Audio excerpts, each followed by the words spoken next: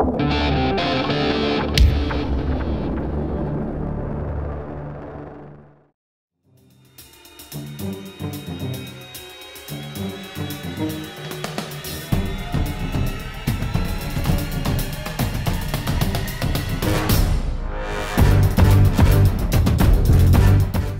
Donc comme je le présentais euh, précédemment, je vais partir sur un concept fantastique euh, de buste. Euh, ce sera pour le coup plus facile d'appréhender les volumes plutôt que sur une armature plus petite où les volumes seront plus délicats à poser. Donc mes étapes en termes de sculpture vont se décomposer un peu comme sur la construction d'un concept. À savoir, on va dans un premier temps poser les masses globalement, ensuite lier ces masses puis rentrer dans le, dans le détail de façon un peu brouillon, jusqu'à rentrer dans le détail de façon plus précise et ajouter les dernières touches finales et, euh, et avoir un rendu euh, fini. Voilà. Donc dans un premier temps, je vais commencer par l'armature. Je vais partir sur une base de tige en laiton. Donc, basiquement, un buste, ça va se composer par une partie qui va permettre de soutenir ce qui nous servira de, base pour la tête. Ensuite de quoi on va marquer la courbe du cou. Et enfin, légèrement, la courbure du dos. On va essayer de marquer ça de façon très franc, de sorte à avoir du volume, parce que c'est bien le but. Voilà.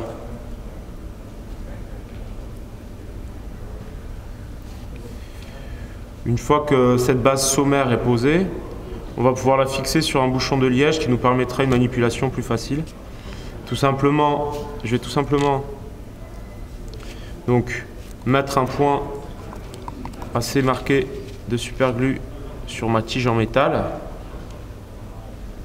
Une bonne dose de sorte à ce que ce soit bien fixé. Puis je vais venir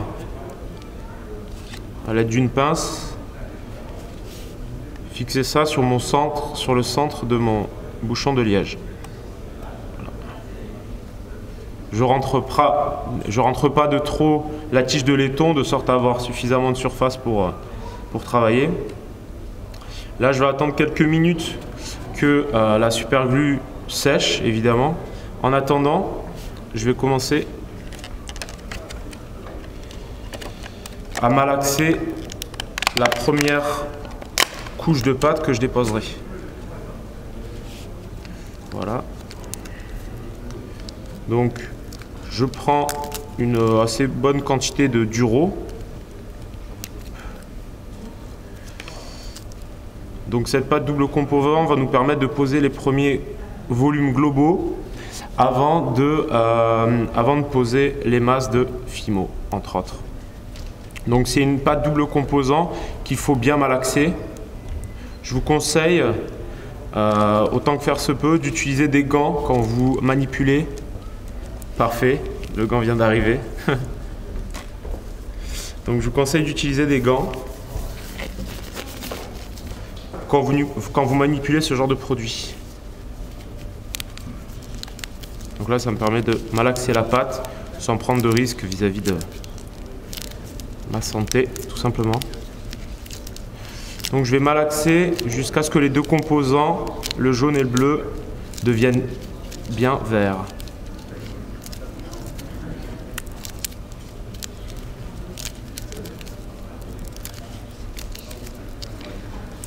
C'est important d'avoir une pâte bien homogène, de sorte à ce que au séchage, donc c'est surtout sur le moment du mélange, le port de gants va être euh, important. Ensuite, on peut tranquillement les enlever pour avoir une prise plus agréable sur la matière. Donc ensuite, je vais venir poser mes masses de façon assez globale. Donc, tout simplement sous forme de boule pour la base de ma tête. Je garde un petit peu de pâte, vous verrez ensuite pourquoi.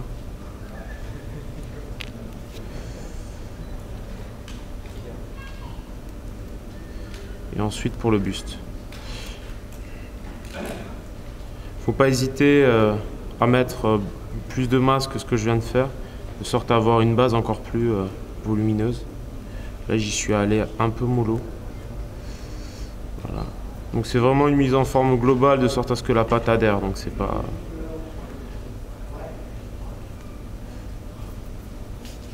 Une fois que cette base est, mise, je vais, euh, au vu du concept, ajouter deux légères protubérances pour les oreilles. De sorte à pouvoir travailler avec un volume déjà posé au niveau de mes oreilles. Donc tout simplement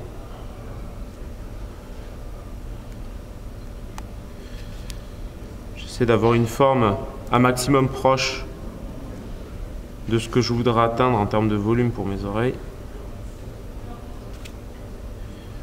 J'essaie de faire en sorte que ce soit bien symétrique.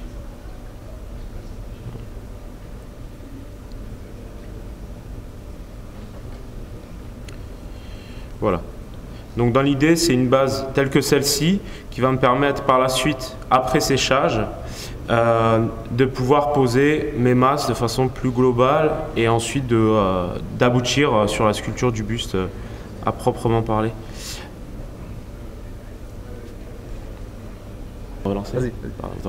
Donc là sur l'étape normalement il y a un certain temps de séchage. Je suis censé attendre que le, le, donc le duro sèche pour pouvoir enchaîner. Donc euh, j'ai préparé, euh, j'ai préparé mon étape précédemment de sorte à avoir un résultat donc ici déjà sec. Il faut attendre à peu près 2 à 3 heures pour que le duro soit euh, bien, bien sec. Donc maintenant que ce duro là est sec, ça me permet d'avoir une base pour mes volumes. Je vais quand même devoir passer une deuxième couche de duro de sorte à ce que par la suite la deuxième pâte que j'utiliserai adhère. Donc je vais réutiliser le duro que je viens de, poser, tout simplement.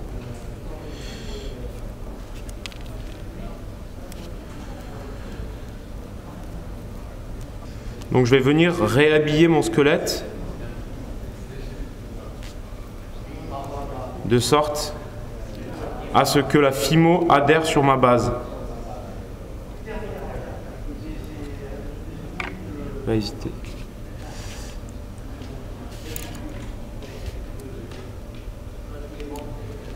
Donc, j'humidifie mon outil de sorte à ce qu'il n'adhère pas sur le, duro et je pousse ma matière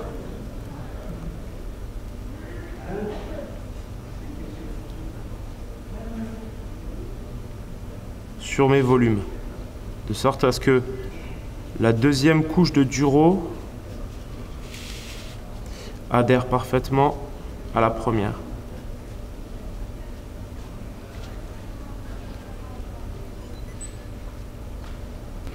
Fais attention à ne pas abîmer les volumes qui, me servent d'oreille.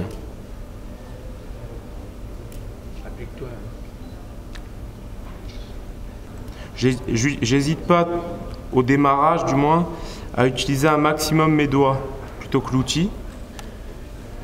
Même si là, j'utilise l'outil euh, pour éviter d'abîmer bah, partie, euh, les parties les plus fragiles comme les oreilles. Mais sur le reste de la pièce, tant qu'on peut, il est préférable d'utiliser les doigts, c'est beaucoup plus pratique.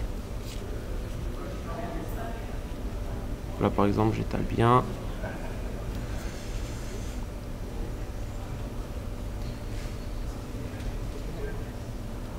Il faut bien que la deuxième couche de duro touche toutes les zones de la pièce, sans quoi la FIMO sur les, sur les étapes qui suivront n'adhérera pas et ça me posera beaucoup de problèmes. Donc je prends vraiment le temps de bien pousser ma matière pour qu'elle touche toutes les zones.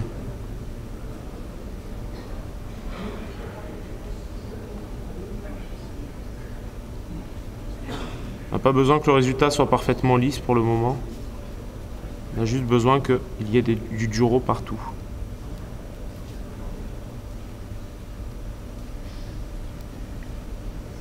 Je rappelle qu'il faut toujours humidifier son outil de sorte à ce qu'il n'adhère pas au duro.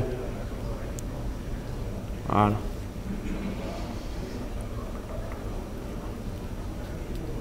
Donc là, le duro est à peu près posé partout. J'insiste sur les zones qui me paraissent un peu touchées.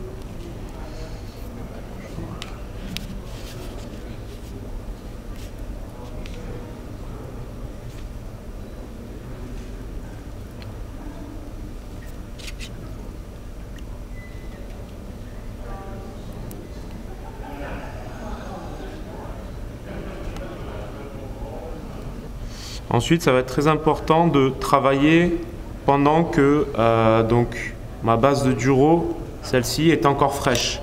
Ça permettra à la FIMO d'adhérer plus facilement.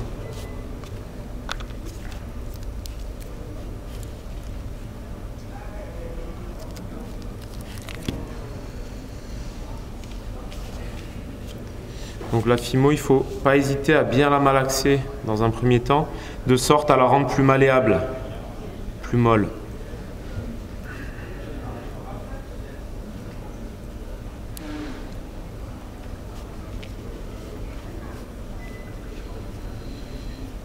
Une fois qu'on sent que la FIMO est bien malléable et molle, on va faire exactement la même chose que précédemment.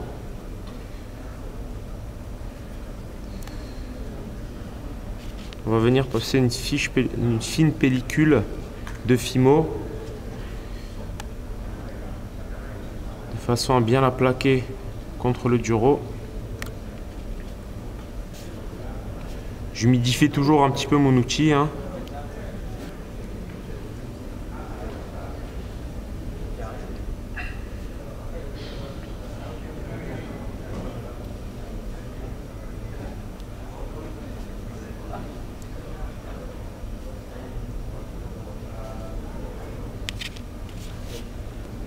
Profite pour commencer à poser du volume au niveau du dos.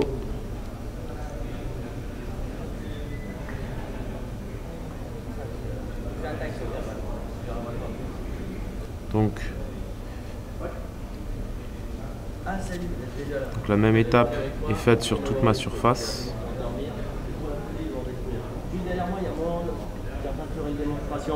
Salut monde Bonjour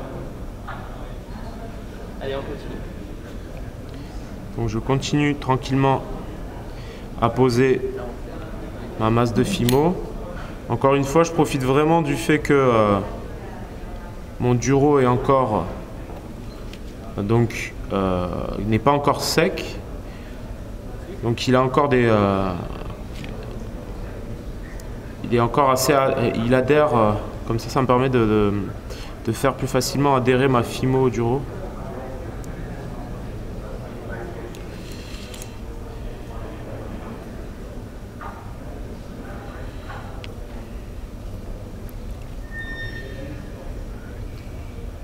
J'essaie de ne pas perdre en volume au niveau de mes oreilles. Je plaque bien la matière contre. On va tirer aussi dessus ensuite.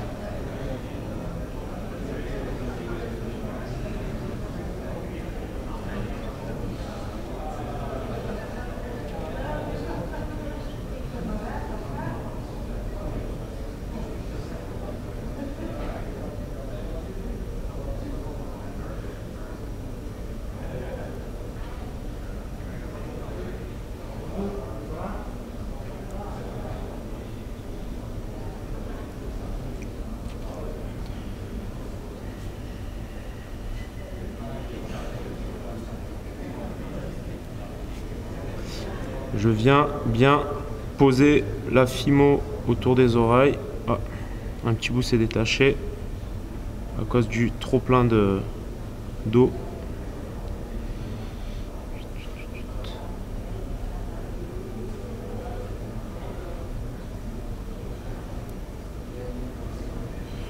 Je reviens mettre ça en forme.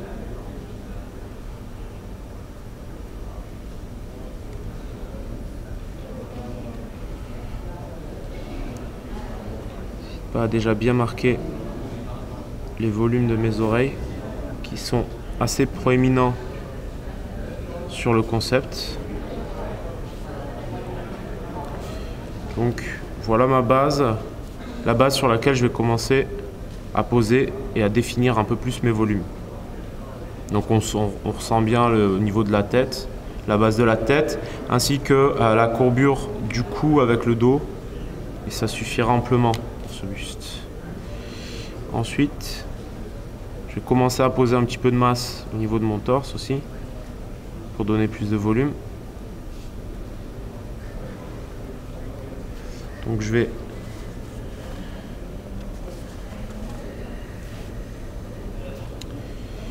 Donc là, je vais commencer en regardant régulièrement le concept à poser. Donc, je vais vous représenter le concept.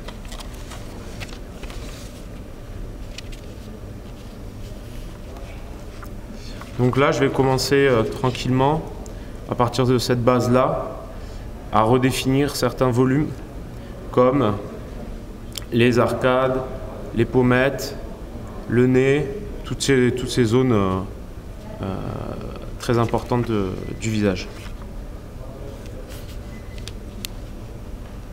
Je vais, les je vais les définir avec des boudins de fimo.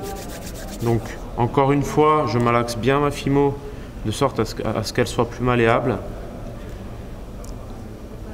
J'hésite pas à laisser reposer ma base autant que faire se peut. Là, j'aurai pas le temps, mais si je peux, je laisse reposer ma base de sorte à ce que la fimo soit un peu plus compacte et donc dure. Je vais assez succinctement définir mes lignes. D'abord centrale et ensuite la ligne des yeux. Sur le concept, on voit bien qu'il a le front assez, euh, assez important et les yeux plutôt bas. Donc, on ne retrouvera évidemment pas ces traits, donc euh, c'est vraiment juste pour me donner une indication au moment de la pose de mes boudins. Donc maintenant, je vais tout simplement rouler ma fimo de sorte à avoir toutes sortes de tailles de, de boudins à disposition.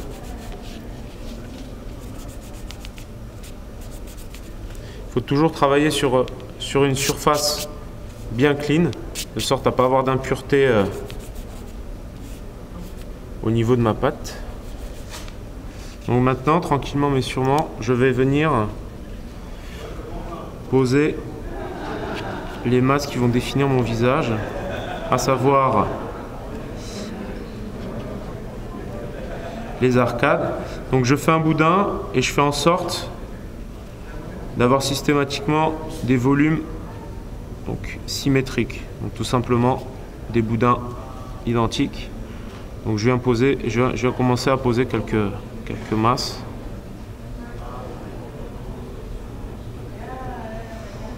Pour donner une idée plus précise des volumes du visage.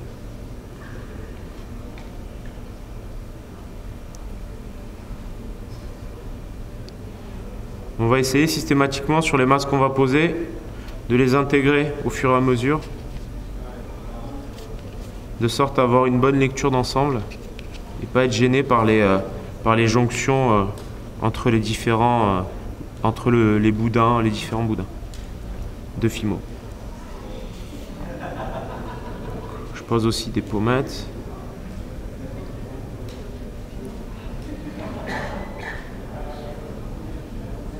de part et d'autre. Je vais essayer d'avoir, de la même manière que mes boudins, je vais essayer d'avoir des gestes symétriques. C'est-à-dire essayer de, répéter à peu près les mêmes gestes, de sorte à avoir quelque chose de maximum équilibré.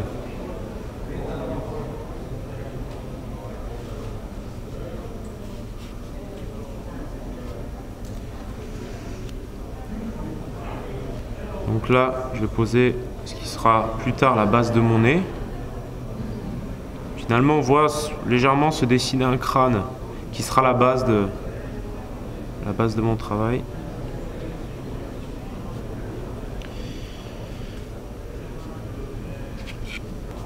Ensuite, je vais poser ce qui ressemblera à une mâchoire supérieure.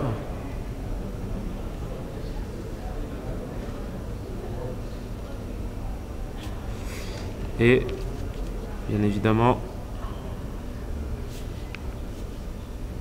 mâchoire inférieure.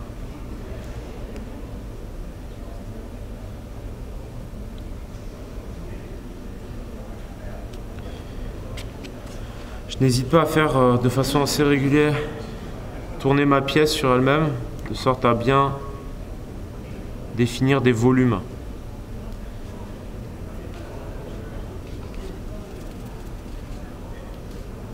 Je n'hésite pas à insister, à rajouter de plus en plus de volume, de sorte à donner corps à la pièce.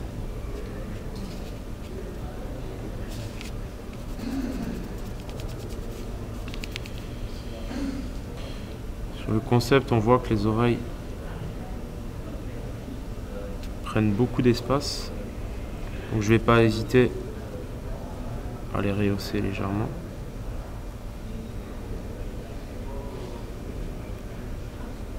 En le creux du crâne. Je vais faire pareil de l'autre côté. Je vais poser le boudin, puis l'aplatir.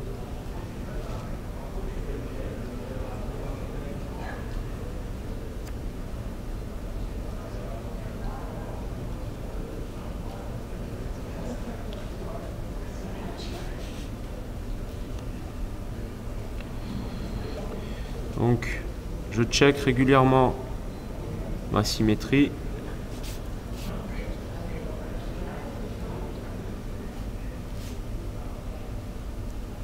Donc là avec une simple pression du pouce, je vais élargir mon oreille.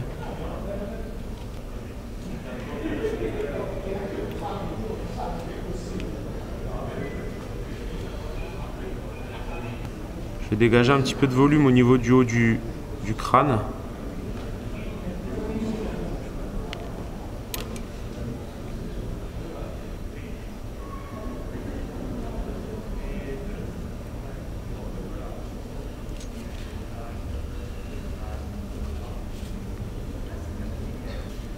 Les étapes vont avancer dans ma construction et moi j'utiliserai mes doigts de sorte à vraiment essayer de préserver systématiquement mes volumes.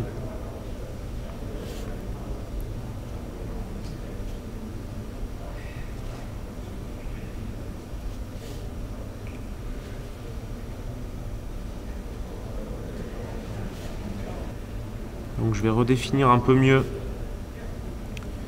le creux des yeux les arcades, les pommettes.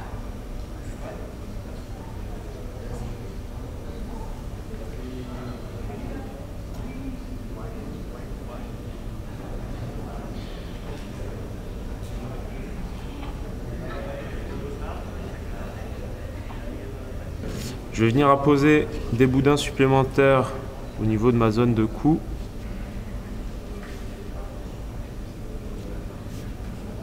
de, sorte à recréer un petit peu quelques bourrelets.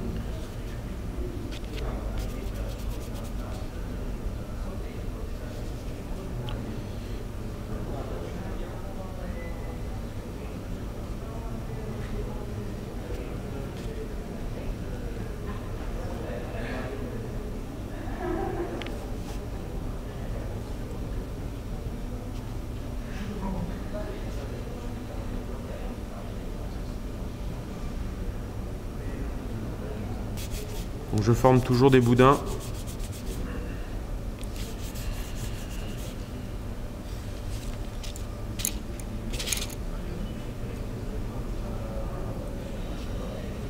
Je vais poser une masse plus importante au niveau du nez, de sorte à me rapprocher de son nez de cochon maximum.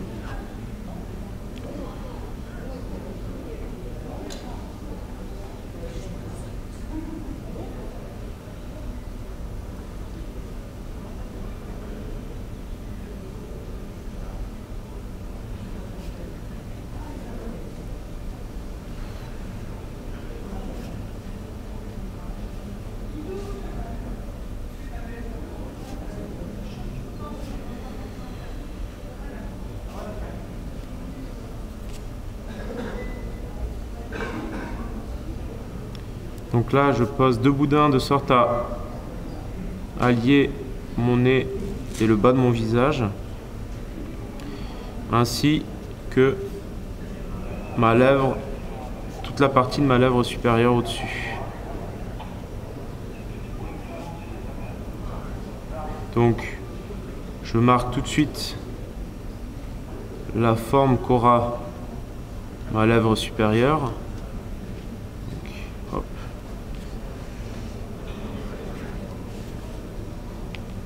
Et je viens poser ma lèvre inférieure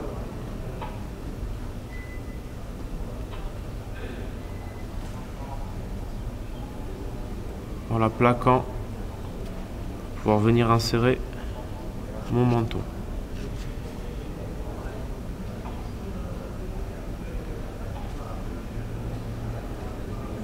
Certains concepts demandent une interprétation. Ici, j'ai euh, vue de face, qu'une vue de trois quarts plutôt. Donc, je vais devoir interpréter le volume et la, courbe de mon menton. Donc, je ne vais pas hésiter à venir rajouter beaucoup plus de volume finalement sur, cette zone-là. Ce qui va être très pratique avec la Fimo, c'est que c'est une, une, pâte qui cuit, enfin qui, ne sèche pas si ce n'est euh, après cuisson. Donc, on va pouvoir la modifier tout du long. Là, je vais rajouter beaucoup, beaucoup plus de matière, de sorte à avoir un menton bien en avant et bien proéminent.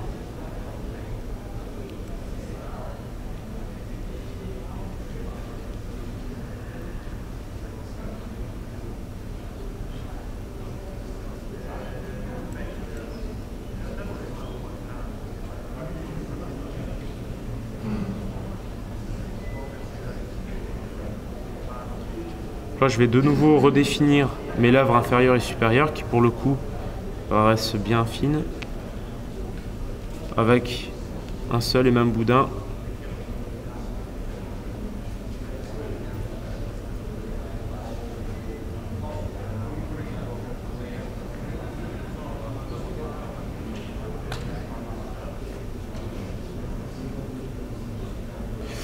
Donc là, je fais de nouveau quelques petits boudins de sorte à ajouter plus de volume sur les côtés des joues qui me paraissent un peu creuses.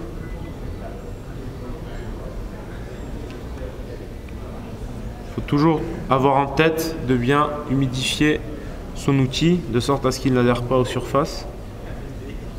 je redéfinis la zone où viendra où sera mon menton redéfinit certaines courbes du, monsieur, du gras du, euh, du monstre.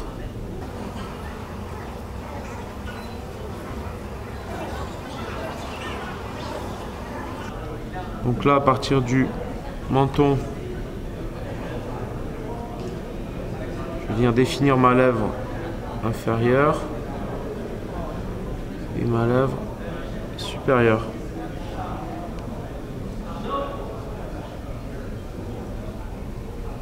N'hésite pas à repasser à droite à gauche de sorte à retrouver une forme de symétrie.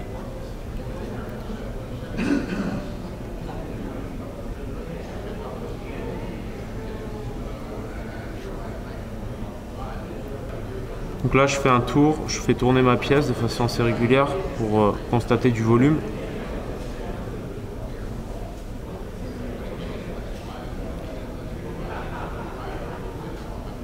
Constate que mes arcades manquent un petit peu de volume.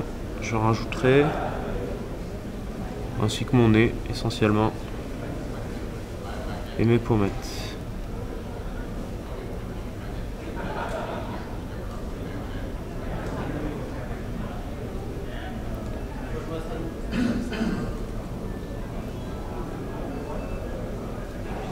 Donc là, peut vérifier à l'aide du concept. On commence tranquillement mais sûrement à se rapprocher des volumes euh, hasardeux de la, de la base. Donc je refais de la même manière un boudin de façon symétrique. je vais venir poser encore plus de volume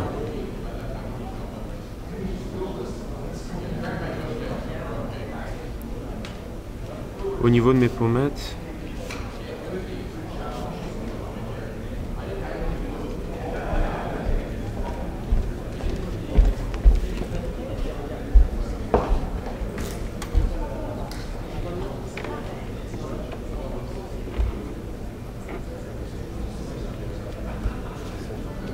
Pour le moment, j'hésite pas à donner des coups avec mon instrument, de sorte à donner un petit peu de,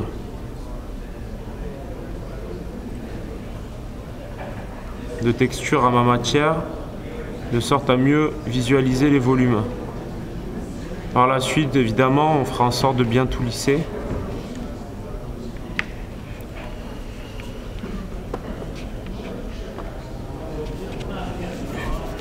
Donc toujours pareil,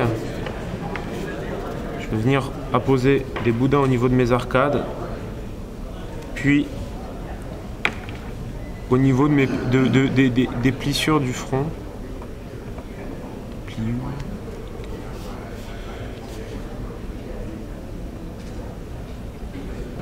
Donc là, je commence à essayer de donner le même rictus que sur le concept au niveau. Donc, j'essaye de donner la même courbe au niveau des arcades que sur le concept, de façon assez globale.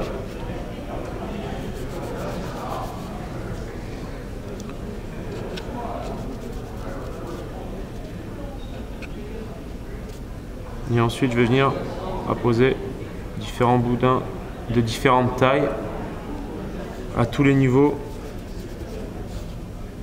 des plissures du front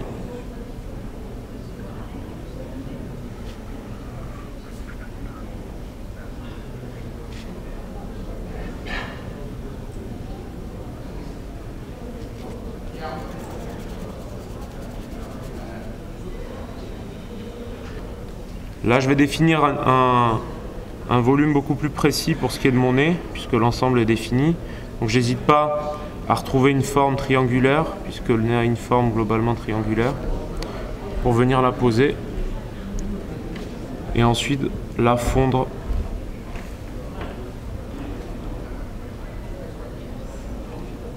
en appuyant plutôt sur la zone basse, étant donné que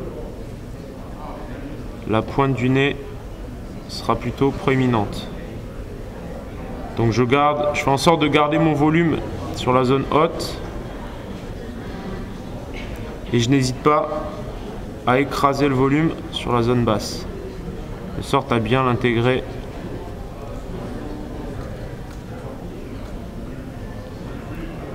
à la masse précédente.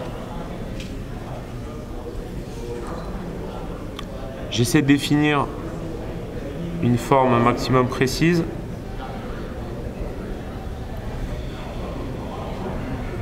Je check régulièrement le concept.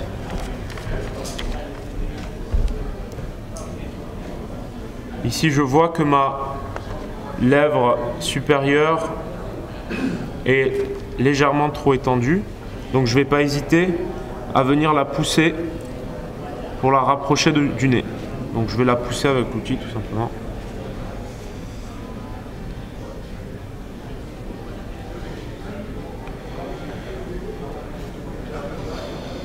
Je me sers des volumes pour recréer les plis et les muscles qui entourent la bouche.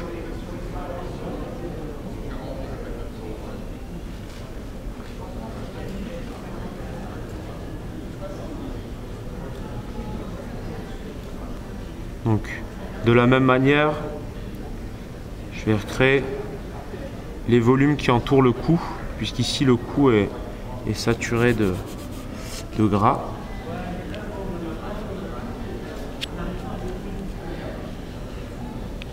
En poussant, j'ai écrasé ma lèvre inférieure, donc je la repose de nouveau. Encore une fois, c'est vraiment le gros intérêt de la Fimo de pouvoir modifier tout du long avant cuisson et euh, en ajoutant de la matière ou en en enlevant selon ce qui est le plus intéressant.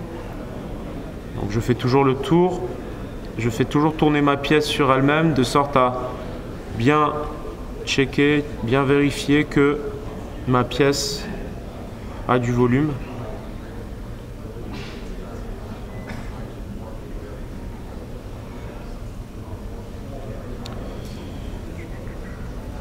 Je vais venir marquer encore plus les deux petits muscles qui se situent, donc on les voit sur le concept, sur le côté de la bouche, ici, et celui qui va relier le côté du nez au bas du... Celui-ci, celui-ci et celui-ci en dessous.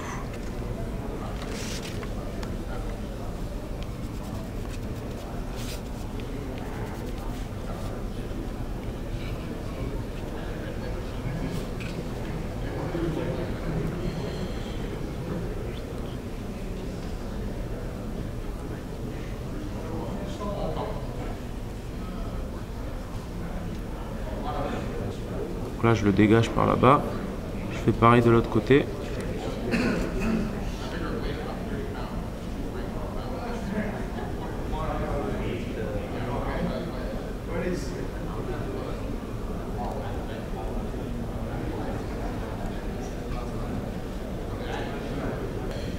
Je vais de nouveau faire deux petits boudins pour marquer le deuxième petit muscle entre la lèvre supérieure et la lèvre inférieure.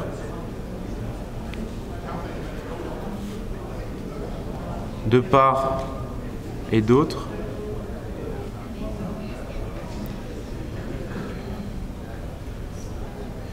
Ici, je relie toujours le muscle à la matière précédemment posée sans pour autant l'écraser de trop. Au niveau de mon boudin, je viens vraiment appuyer avec mon outil, mais seulement sur les bords, de sorte à garder un volume au niveau du centre et de ne pas perdre tout mon volume en appuyant.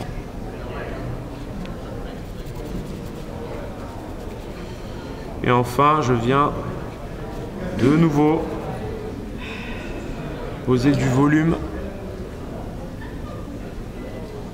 pour lier les deux, les deux zones.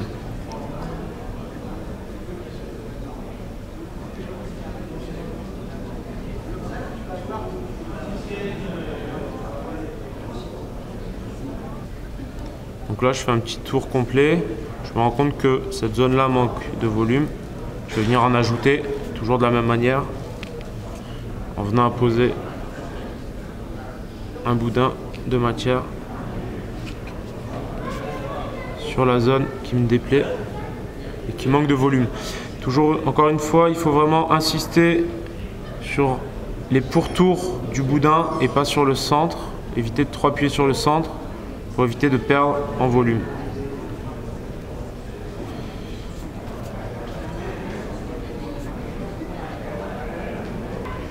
Je ne vais pas hésiter à, une fois que j'ai eu fait le tour, à remarquer certaines formes.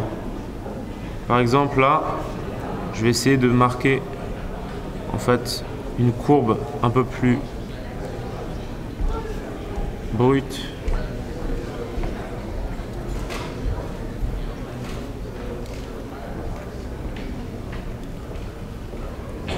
niveau-là.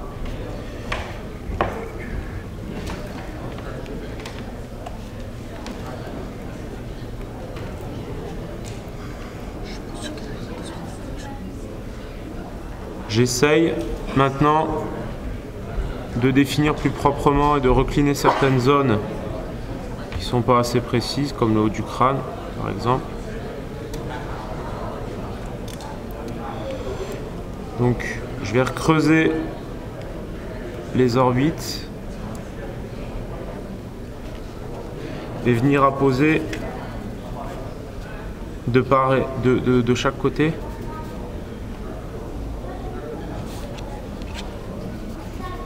Deux, deux boulettes qui vont me permettre de définir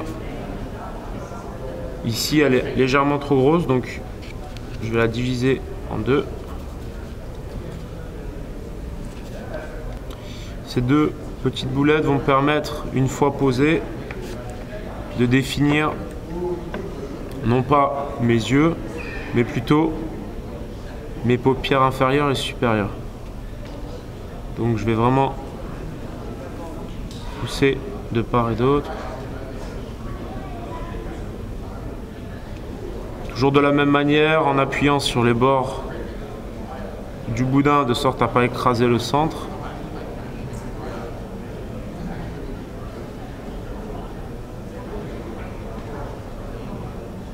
Et ensuite, je vais séparer donc la paupière supérieure et inférieure en marquant la zone qui va recevoir, qui recevra plus tard l'œil, tout simplement.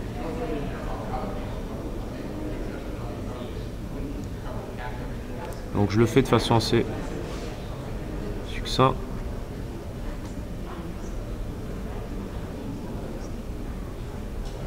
Dans un premier temps. Puis je redéfinis de plus en plus précisément les paupières supérieures et inférieures.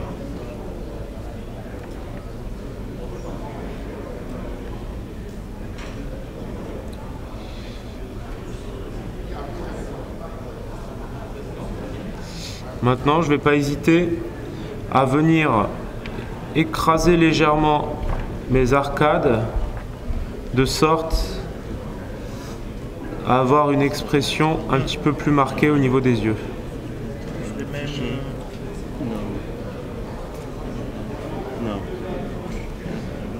On a une bonne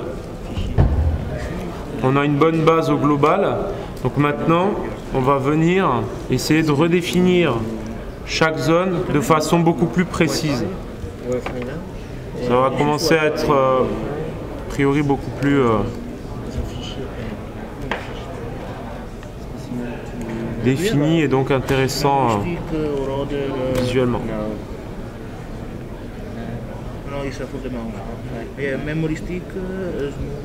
Donc j'effectue une première étape en passant partout avec mon outil, tout simplement, en métal. Toujours penser à bien humidifier l'outil de sorte à ce que la matière n'adhère pas à l'outil. Donc je redéfinis, j'hésite pas à marquer des plis sur la base du nez, à dégager légèrement le creux. Je peux utiliser pour ça la deuxième forme de mon outil.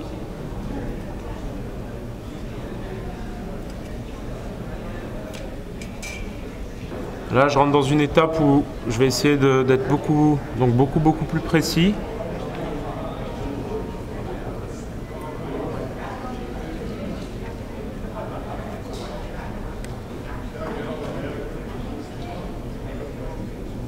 Je vais redéfinir certaines courbes qu'on ressent pas encore beaucoup mais qui sont présentes sur le concept.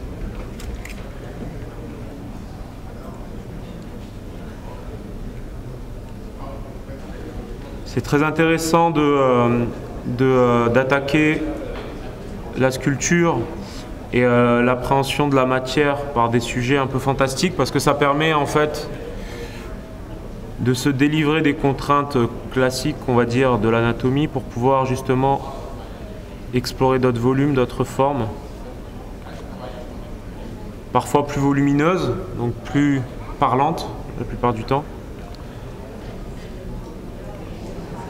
Donc là, je lis mes zones, je fais en sorte de commencer à avoir un travail un peu plus léché, plus lissé, comparé à, ma à mon précédent euh, résultat.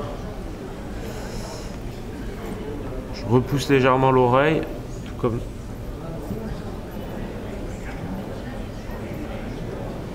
je creuse cette zone.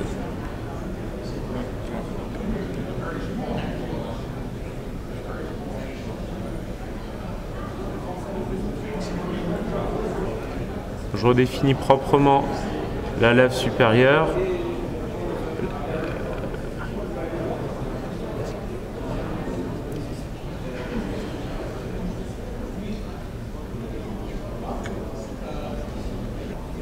Mon regard se balade à partir de maintenant entre la sculpture et le concept, je vais plutôt me concentrer sur cette étape-là, à savoir vraiment euh, le fait de cleaner, de retrouver mes zones et les volumes intéressants. Donc là, je vais commencer dès maintenant à marquer l'emplacement des dents car elles effectueront une pression sur euh, ma zone de peau.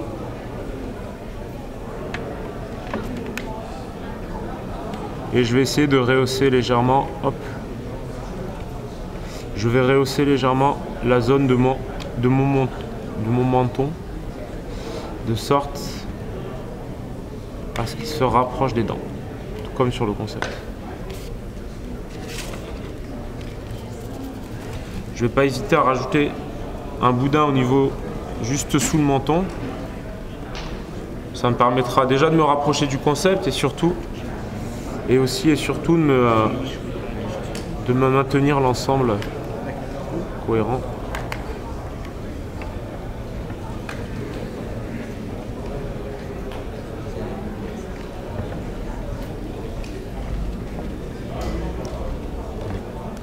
maintenant je vais commencer comme je viens de le dire, à tout, tout, tout cleaner. Dans un premier temps avec cet outil en métal, donc de façon assez brute. Et ensuite, petit à petit, je vais m'orienter vers des pinceaux gomme. Je vous montrerai tout à l'heure.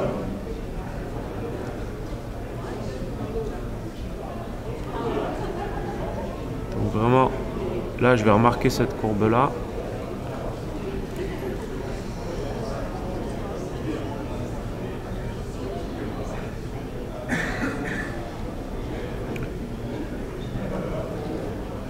Écraser encore plus mon arcade de sorte à accentuer son regard belliqueux.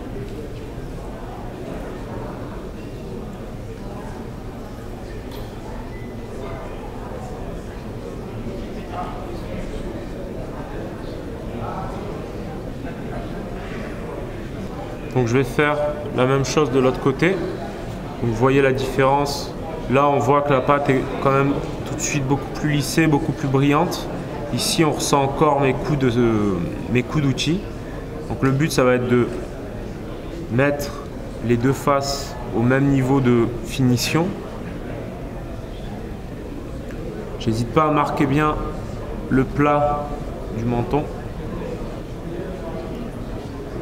à décrocher un petit peu plus mes, mes masses.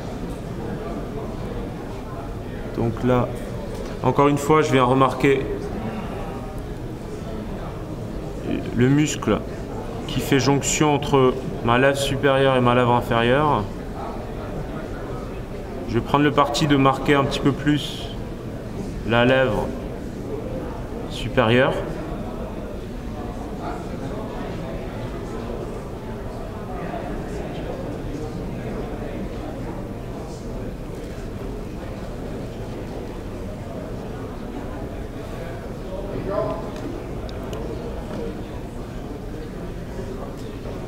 Je lisse l'ensemble de ma pièce encore une fois. Je marque bien les arcades. J'accentue bien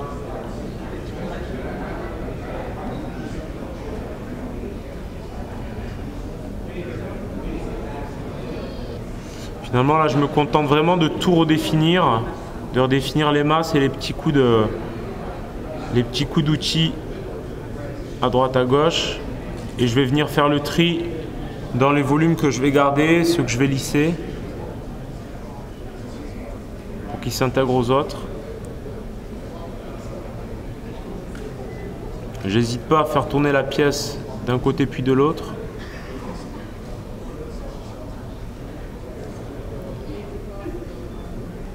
Évidemment, euh, pour chacune de ces étapes, il faut prendre euh, évidemment plus de temps de sorte à ce que chaque zone soit bien symétrique. Là, mon but, c'est surtout de vous montrer euh, la pose des volumes, la façon dont on appréhende la matière sur un sujet fantastique, où on va pouvoir justement pouvoir beaucoup plus exagérer les volumes, les expressions. Donc, je redéfinis aussi cette zone-là. Et puis, je vais passer à l'étape suivante avec un pinceau gomme, de sorte à pouvoir vraiment avoir des surfaces parfaitement lisses. Donc je remarque bien mes volumes.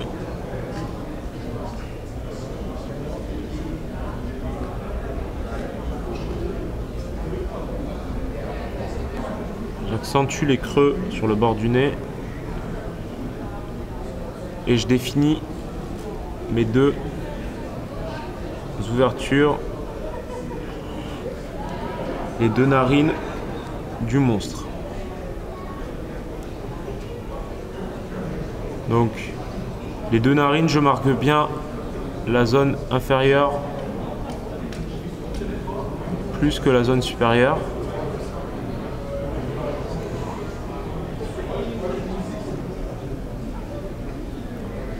Et je vais venir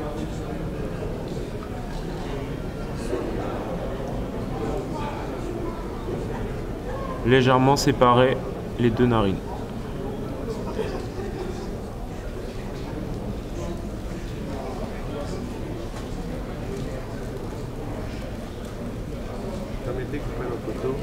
Donc là la pose globale est faite. Je vais pouvoir venir lisser avec mon pinceau gomme et, pouvoir, je vais pouvoir venir mettre un petit peu de texture. Avant ça, je vais donner un peu plus vie à ma pièce, à mon buste, tout simplement en posant deux boulettes pour, simuler les yeux. Après avoir bien défini les paupières euh, inférieures et supérieures. Donc toujours de la même manière, je vais venir faire deux. Je vais venir faire un boudin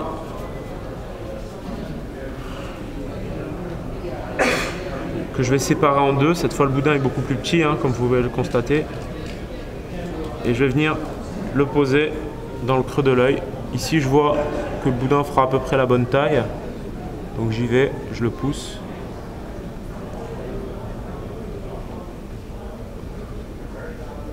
Je referme légèrement ma paupière supérieure dessus.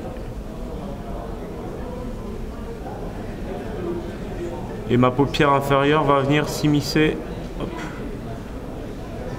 juste sous ma paupière supérieure. J'hésite pas à remarquer un petit peu l'arcade au passage.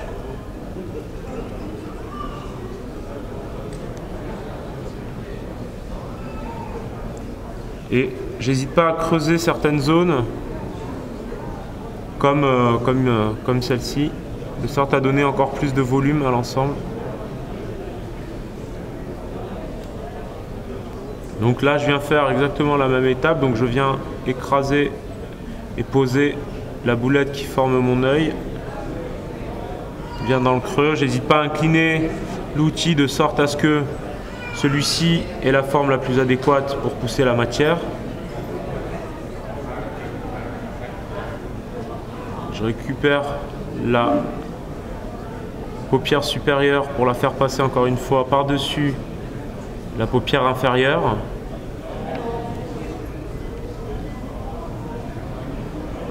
Encore une fois, il est très important systématiquement de bien vérifier la symétrie.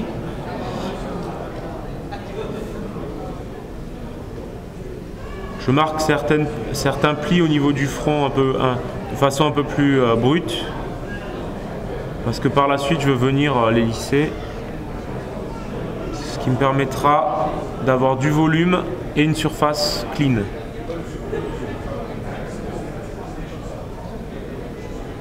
Sur les bords, sur les bords de l'œil, je ne vais pas hésiter à venir marquer quelques, quelques, quelques petits plis, de sorte à bien exagérer le fait que euh, la bête est bien enrobée et bien en chair. Je redéfinis les yeux, j'hésite pas à faire des va-et-vient réguliers pour définir mes volumes de façon vraiment clean. Je peux poser dès maintenant les deux petits volumes qui me serviront de définir les dents.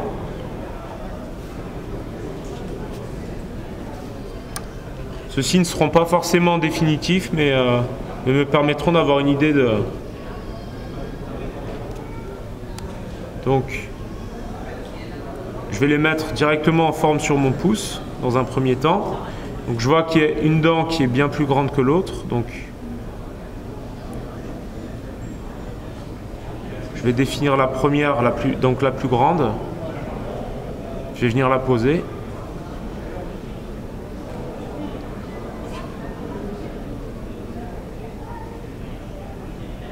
J'hésiterai pas si c'est nécessaire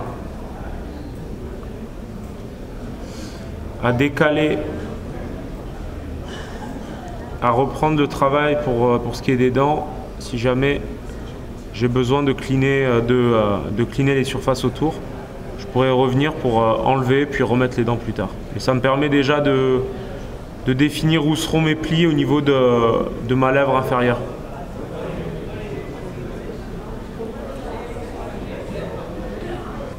J'hésite pas à définir bien mes, mes zones avec le tranchant de mon outil.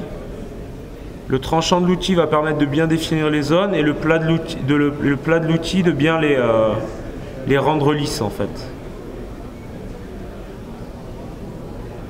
S'il faut pour bien redéfinir certaines zones, je ne vais pas hésiter à les creuser avec un exacto directement.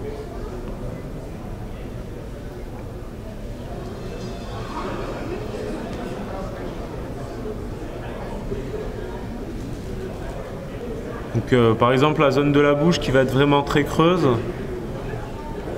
ou encore l'intérieur des arcades, de sorte à vraiment donner du volume à l'ensemble, ou encore euh, l'intérieur des oreilles.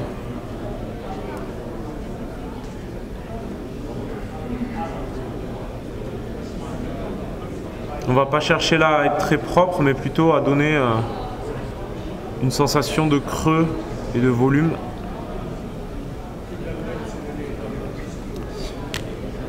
Donc là, le travail sur le visage est bien avancé, les formes sont posées. Je vais venir rentrer un peu plus dans le détail avec un, pinceau gomme légèrement biseauté, de sorte, et humidifié toujours, de sorte à bien définir les zones les unes des autres et à lisser l'ensemble. Donc je vais commencer par le front.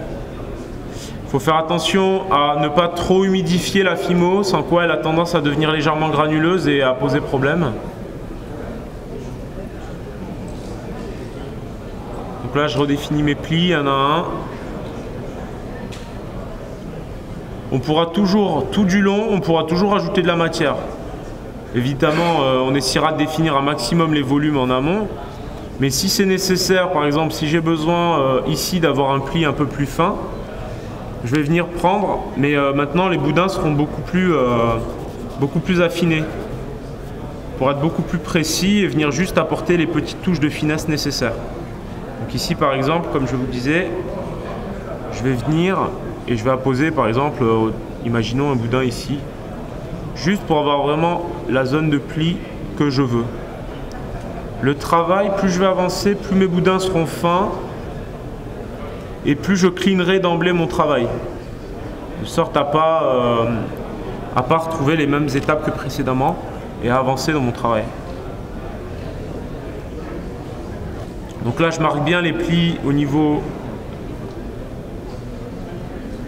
de, euh, la zone intermédiaire des arcades. Je remarque encore une fois bien mes arcades.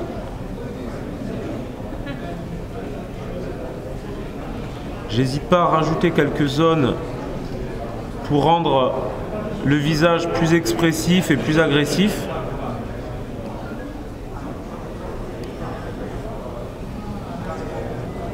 Là, je vais vraiment, vraiment rentrer dans le détail en mettant une légère pression au niveau de la paupière supérieure et de la paupière inférieure.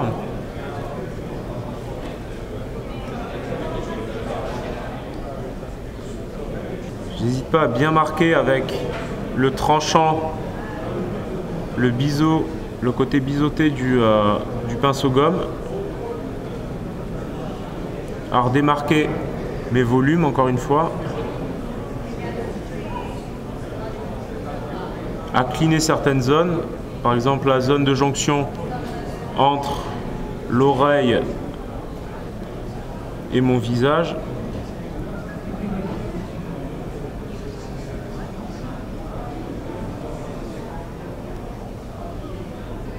Vraiment là on commence à avoir une surface ben, parfaitement lisse.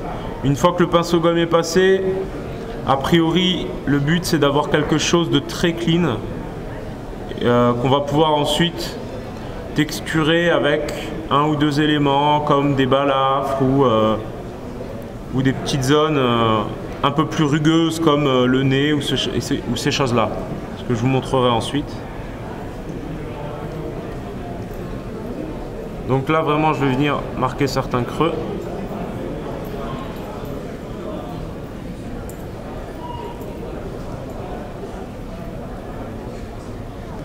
Donc je viens tout lisser, lisser chaque zone.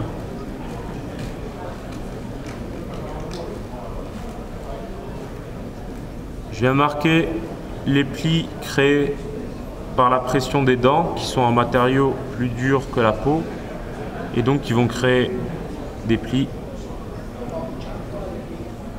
de part et d'autre.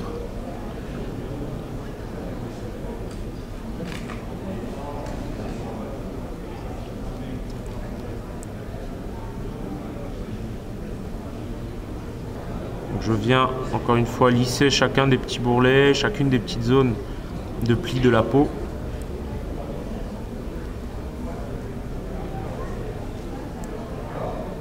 J'ai tendance à venir humecter de temps en temps mon outil.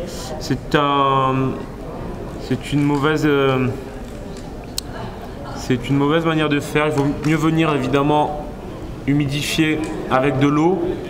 Ça évite de, de manger des, substances pas forcément euh, très très bonnes pour la santé. Donc n'hésitez pas, hein. toujours un petit pot avec une mousse, de sorte à humidifier l'outil, de sorte à ce que l'outil glisse bien sur la surface. Donc je viens encore une fois marquer les creux, tout ce qui est pli de peau. Je redéfinis mes yeux, je redéfinis chaque zone.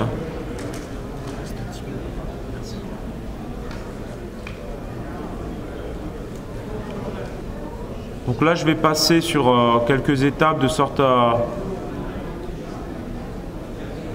à vous montrer comment texturer euh, justement euh, le nez ainsi que, euh, que faire une balafre ou deux de façon assez simple.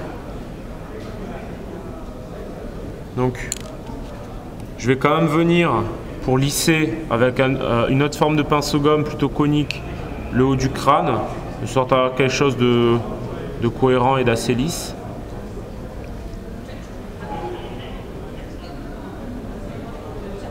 Ici c'est un monstre donc c'est pas gênant si jamais, euh, si jamais la forme du crâne n'est pas parfaitement euh, ronde. Au contraire. Je vais venir lisser légèrement le haut de mes oreilles et creuser l'intérieur de sorte à ce qu'elle soit bien bien clean. Donc Je viens vraiment creuser l'intérieur. Étant donné que mes euh, oreilles ont beaucoup de volume et sont censées légèrement rebiquer dans ce sens-là, j'hésiterai pas à les retravailler sur une deuxième cuisson après avoir cuit une première fois mon sujet, de sorte à pouvoir acquérir vraiment le volume en avant de l'oreille. Ici, je dégrossis quand même un maximum. Je fais pareil de l'autre côté, évidemment.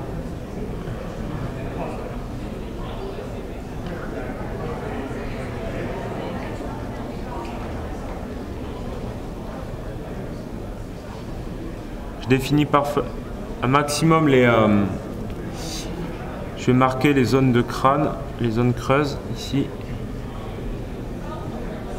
Sorte à donner plus de volume.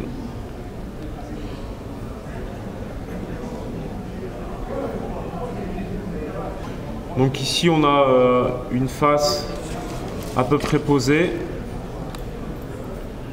On va pouvoir commencer à rentrer un petit peu plus dans, le, dans le détail encore en mettant du contraste, de la matière. Donc je vais venir directement avec un, un outil aiguille, tout simplement. Donc euh, c'est tout simplement une aiguille fixée à un pinceau. Et je vais venir marquer les creux et des plis, vraiment des micro-plis ici. Quoi. Par exemple ici, encore là. Ça va être une autre forme de pli, beaucoup plus marquée, beaucoup plus nette, moins diffus et qui va donner un peu plus de volume. Je pourrais venir creuser le bord des yeux ici, de sorte à vraiment les démarquer qu'on retrouve des yeux en forme de bille très proche du concept. Ça nous permet aussi de démarquer chaque zone les unes des autres, de sorte à rendre la peinture plus aisée et, euh, euh, tout simplement la lecture à l'œil plus facile. Donc je redéfinis les paupières. Ici ma zone n'est pas parfaitement clean, donc je vais revenir avec un pinceau gomme pour la cleaner.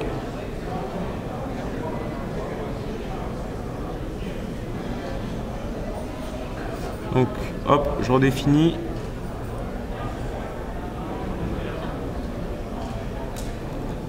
J'hésite pas à revenir marquer ces petits plis ici. Ceux-là là.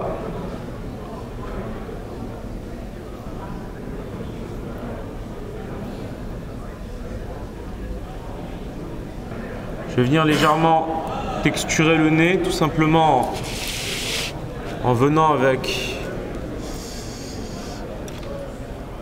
avec un outil aiguille, mais cette, cette fois légèrement arrondi et en tapotant, en humidifiant un maximum et en tapotant ma zone très légèrement, de sorte à donner un peu de texture au nez.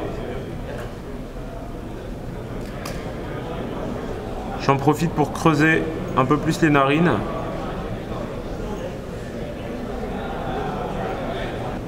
Donc je donne un peu de texture. J'appuie avec différentes pressions hein, de sorte à avoir euh, quelque chose d'intéressant et de, et de varié.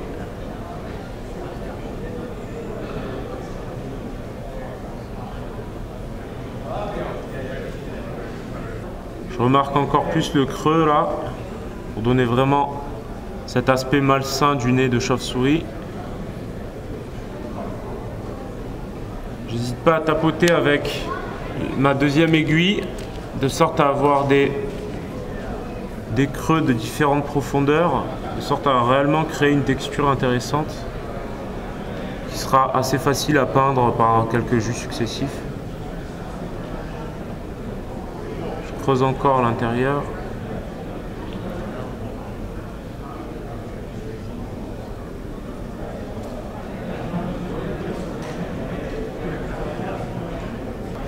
Voilà pour le gros du travail. Et puis maintenant, je vais pouvoir tout simplement venir marquer des zones. Par exemple, on va dire euh, bah, tout simplement marquer euh, la balafre qu'il a sur cet œil. Donc je lui crée tout simplement une balafre à l'aide de l'exacto. Je crée une cavité assez marquée dans un sens puis dans l'autre.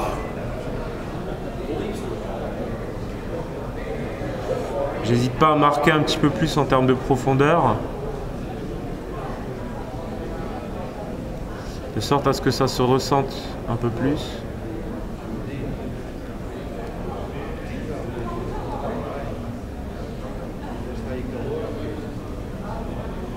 Je ne vais pas hésiter à rajouter une balafre ou deux à droite à gauche, par exemple ici en croix, euh, ou ici sur la joue.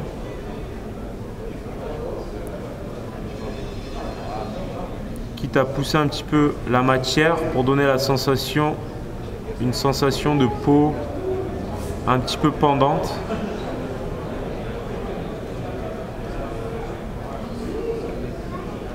Et ensuite, je vais venir, dans un premier temps, de nouveau creuser avec un outil biseauté.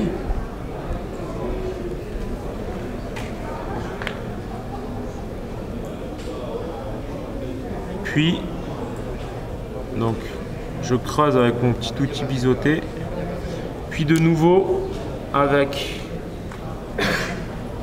mon pinceau gomme en cône, je vais venir pousser les zones de peau pour simuler le début d'une cicatrisation en fait. Juste en mettant des petits, des petits coups de pression à droite à gauche.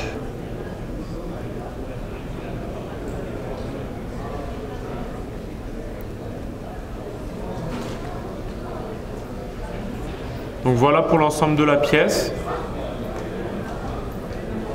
Donc je vais euh, terminer le travail du visage et des textures ici. Ça nous aura permis d'appréhender la pose des masses à travers un, donc, un sujet fantastique, donc avec des masses un peu plus exagérées.